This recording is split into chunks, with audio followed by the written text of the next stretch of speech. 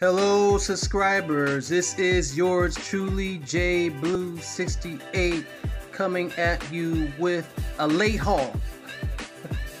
a late comic book haul, and there's various reasons why this haul is late. If you see my videos that I posted throughout this week, I've been all over the new releases or the new release of the uh, much sought after book Absolute Carnage and House of X Book 2. Those are in this haul and they will be shown shortly. Um, I hope that you guys enjoyed the videos that I posted. It was truly an honor to meet Ryan Stegman. What a great guy. And um, I'm going to tell you a story about that in a moment. But before we get into this haul and into that story, I just want to say thank you to my subscribers. And I want you to share this video for all you new viewers, hit the like button, hit that bell, and tap or tap that bell so you can get all the cool videos from JBlue68 that you can and they can drop into your feed immediately.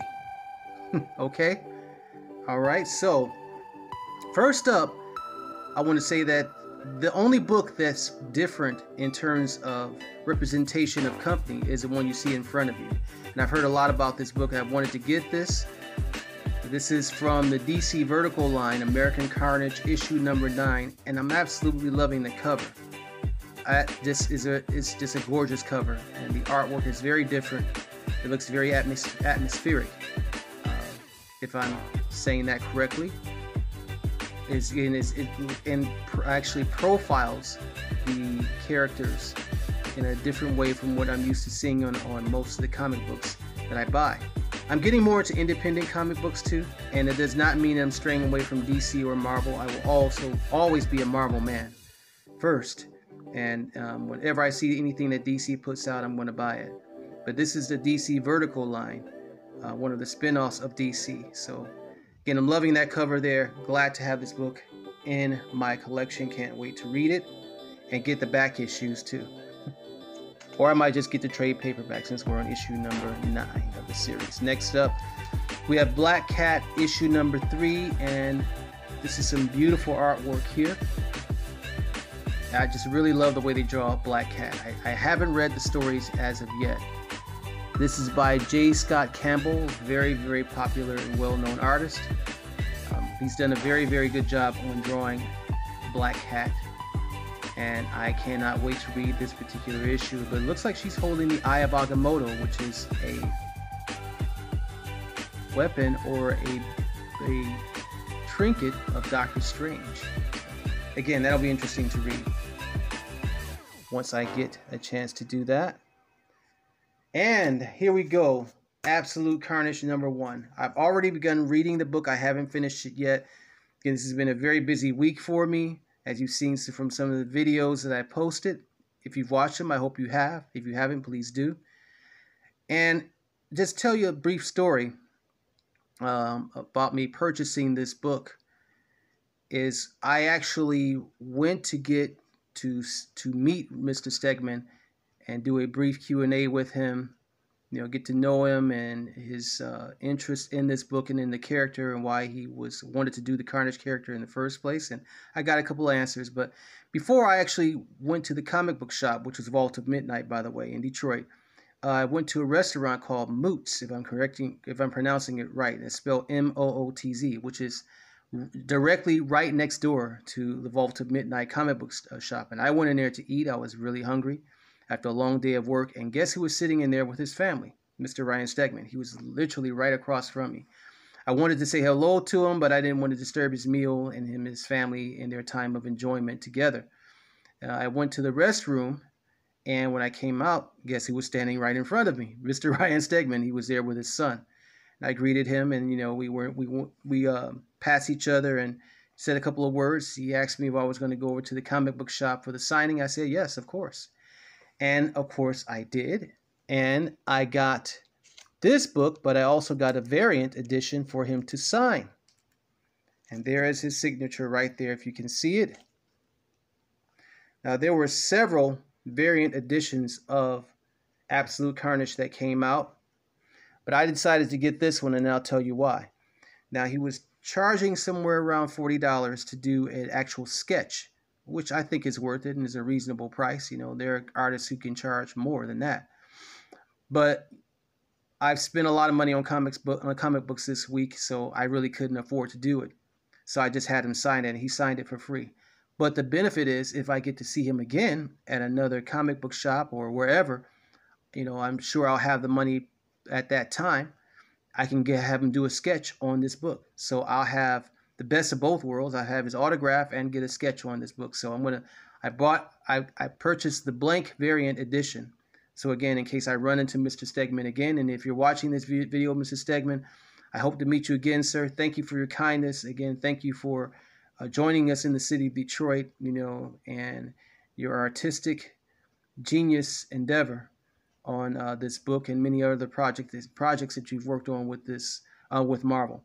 So I'm glad to have this book, and I look forward to meeting him again to get a sketch on the Absolute Carnage blank variant edition. Next up, we have Aero book number two, and this character, and also by the way, Absolute Carnage spins out of the Real War of Realms story. I should have mentioned that too, as does this character, Aero, uh, book number two.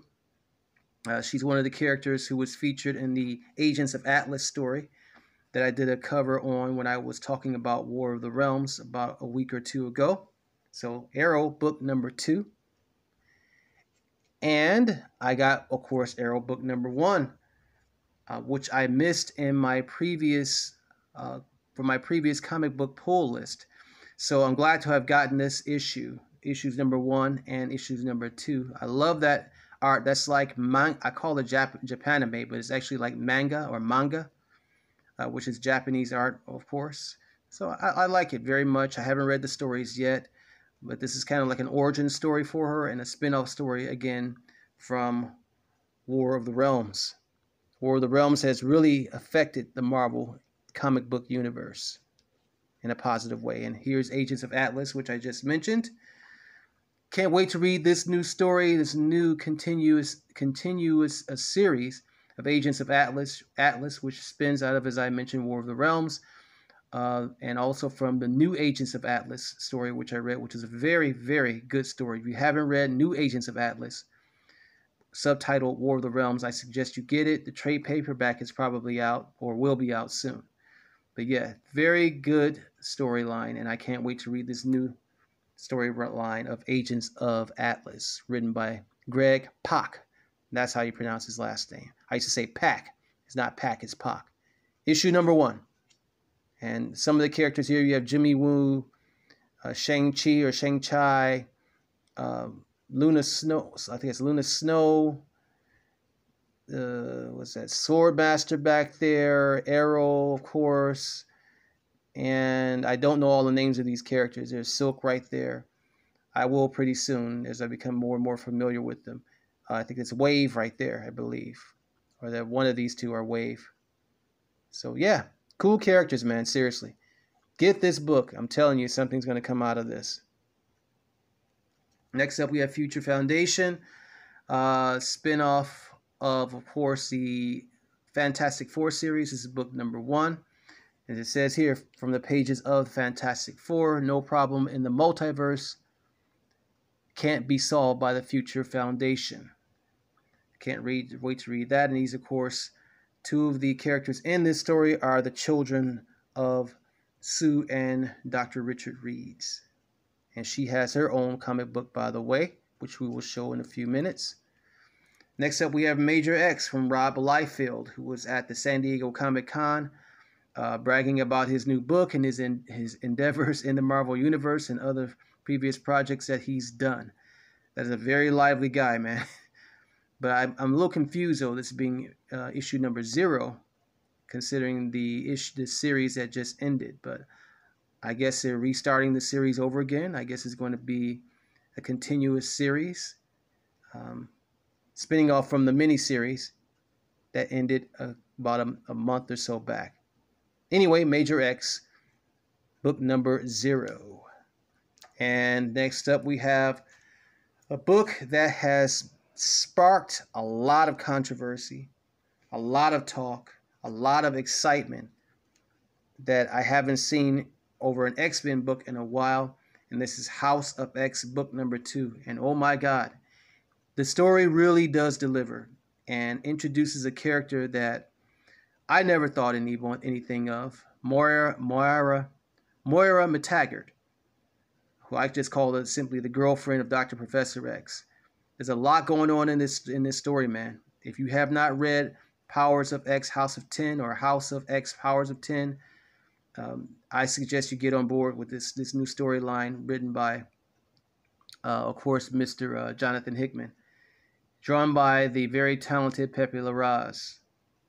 Uh, very beautiful artwork, a very intriguing, fascinating, and exciting story is taking place in these new pages, in the pages of this new X Men storyline. Get on board this, I'm telling you. And I'll do a review of it pretty soon. And then last but not least, as I aforementioned, the Invisible Woman's Miss Sue Reed's, or excuse me, Mrs. Sue Reed, the wife of Dr. Richard Reed from the Fantastic Four. She has her own solo series going on now. Like that cover there. And I'm thinking that might be one of the members of the Black Widow sorority holding a gun. And she looks to be entangled in some type of web. So I'm not really sure what's going on with that story. Uh oh. I haven't read any of the Invisible Woman stories yet, but of course I plan to. I'm behind on my comic book reading as always, but I plan on catching up. So I'm almost caught, caught up on getting all the books that I wanted to get. Um, almost caught up. Glad about that, and I hope that you've enjoyed this haul, this brief haul. Um, and again, hit that like button, subscribe, share, tap that bell so you get notifications of any and all videos that I drop so they can drop into your feed immediately. So that's it. That's all, y'all. Hope you have a good day, afternoon, or morning, whatever time and place it is in the world for you. Be kind one to one another. Read a comic book. It can calm the senses, take you out of reality, as I've heard another YouTuber say, and it definitely does do that. Reading is fundamental and enjoyable. Peace, love, and hair grease.